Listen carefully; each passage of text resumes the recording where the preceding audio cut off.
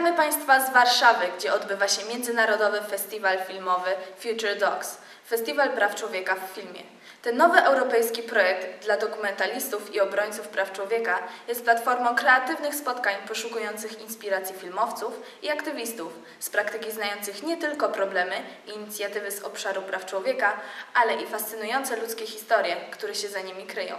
Dziś zaprezentujemy Państwu fragmenty filmu pokazującego przebieg przesłuchań nagranych przez Służby Urzędu Bezpieczeństwa Narodowego w roku 1948, a odnalezione przypadkowo na wysypisku śmieci w roku 1990 przez pana Jana Kowalskiego i przetworzone na technikę digitalną w roku 2016 przez grupę uczniów szkoły imienia Roberta Junga w Berlinie.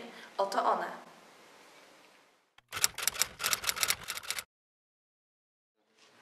Ta. Stachu, widzę z dokumentacji, że nieźle nawywijałeś. Mamy informację, że kontaktowałeś się podczas okupacji z niejakim Janem Karskim. Nieprawda. Nie próbuj zaprzeczać.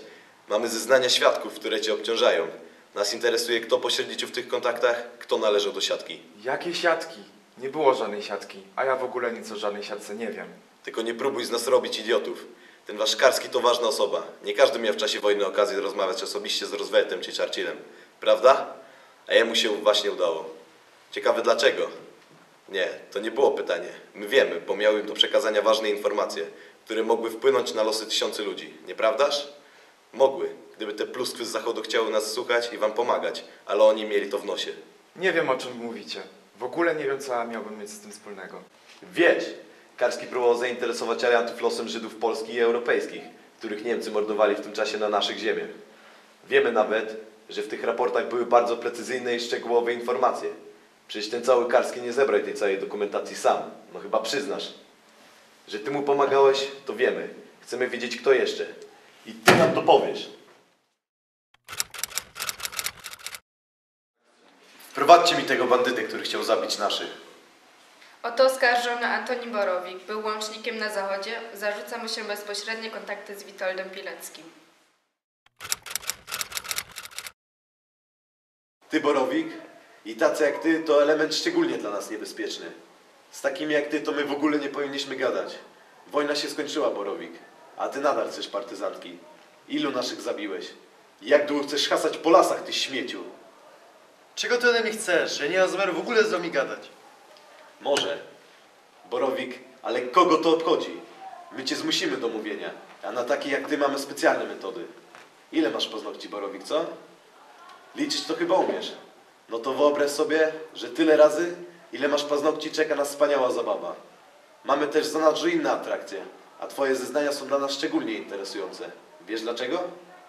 Bo my nie chcemy, aby nadal ginęli nasi ludzie. A ty i tobie podobnie myślą, że nadal trwa wojna. Bo wojna się dla mnie jeszcze nie skończyła. No wiemy, wiemy. Nie możecie się pogodzić z tym, że Polska, jaka była przed wojną, już nie wróci, prawda? To dlatego organizowałeś strukturę oporu w terenie? Wiemy, że dałeś się zwerbować komuś od tego zdrajcy Pileckiego. Powinieneś buty czyścić Pileckiemu. Ty komunistyczny pomiocie, ty prawdziwy, to prawdziwy patriota, niezwykle odważny człowiek, a ty jesteś zero. Jesteś zero. Wprowadzić mi to ścierwo z powstania warszawskiego. Tą łączniczkę? Dawać ją.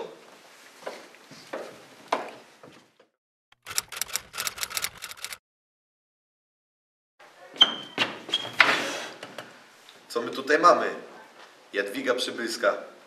Wiemy o tobie, że byłaś łączniczką w czasie powstania, czyli znałeś dużo ciekawych ludzi, dowódców, osoby kierujące większymi grupami. A właśnie takie osoby nas interesują. Kto był twoim zwierzchnikiem i kto wydawał ci dyspozycję? Nie wiem, o czym pan mówi. Pracowałam w szpitalu, nikogo nie znałam. No a my mamy informację, że byłaś łączniczką. I to całkiem ważną. Opowiedziała nam o tobie twoja koleżanka. Lepiej, żebyś nie zaprzeczała. Pomyłka. Ja tylko pracowałam w szpitalu. No cóż, będziemy musieli was skonfrontować. Klawisz, dawaj mi tutaj tą drugą.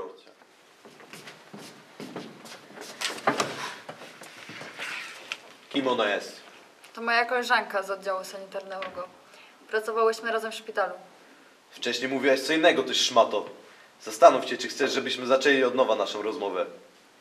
Byłyśmy obydwie sanitariuszkami. Ja nic nie wiem o kontaktach Jadzi. Przy was naprawdę można stracić cierpliwość. W ogóle wszystko, co robicie, jest bez sensu.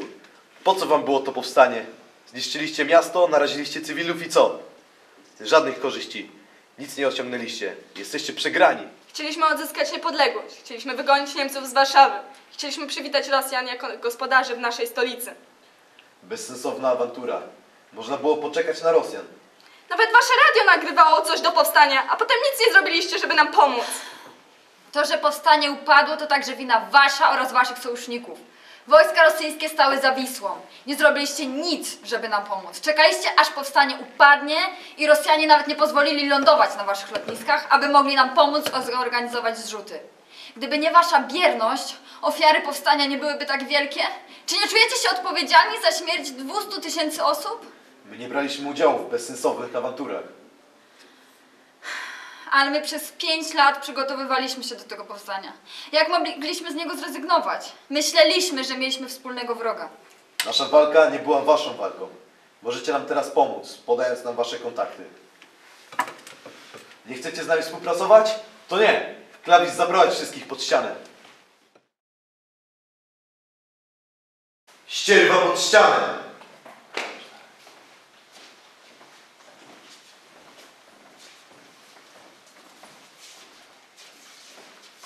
W tył zwrot, zdrajcy!